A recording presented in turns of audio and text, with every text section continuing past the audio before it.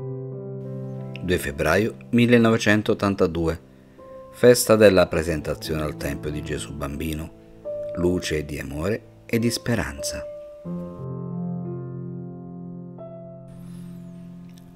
Oggi vi raccolgo tutti sull'altare del mio cuore immacolato, figli prediletti, sparsi in ogni parte del mondo, e vi presento con amore e con gioia al Tempio del Signore.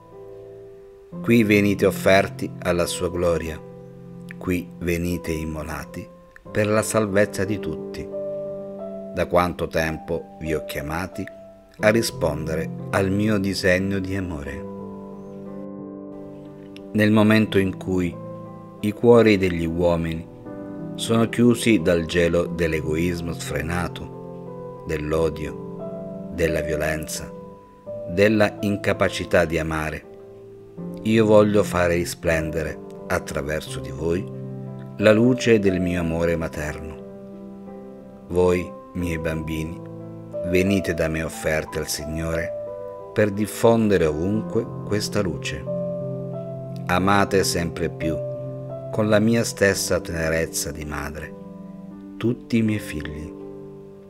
Fra essi siate buoni e misericordiosi, soprattutto con coloro che si perdono, che sono lontani da Dio, che sono vittime spesso inconsapevoli del peccato e del male della corruzione e della violenza.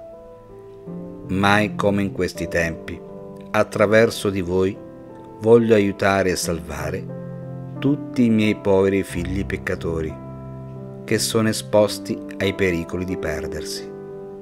Qui venite anche immolati alla perfetta glorificazione di Dio.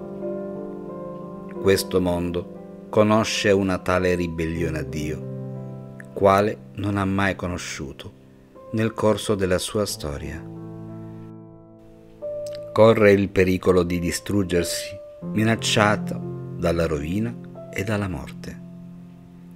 Figli prediletti, lasciatevi offrire sull'altare del Signore come docili e mansueti agnelli per la salvezza del mondo.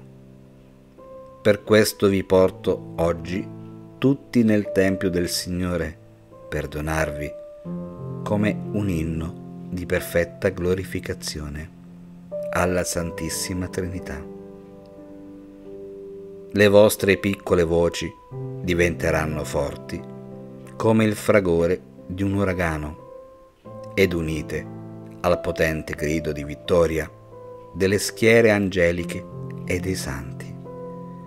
Percorreranno il mondo intero per proclamare in ogni parte chi come Dio, chi come Dio. Siete chiamati a vivere sofferenze e dolori senza numero. Oggi, attraverso di voi, voglio incoraggiare e consolare i miei figli. Nel momento della grande tempesta, la mamma vuole raccogliere fra le sue braccia i suoi bambini perché siano consolati. Insieme passeremo le ore angosciose della purificazione. Insieme pregheremo, soffriremo e confideremo nella misericordia del Padre. Insieme saremo provati, insieme saremo anche consolati. Per questo oggi, attraverso di voi, figli prediletti, voglio diffondere nel mondo la luce della speranza, della fiducia in Dio e della mia materna consolazione.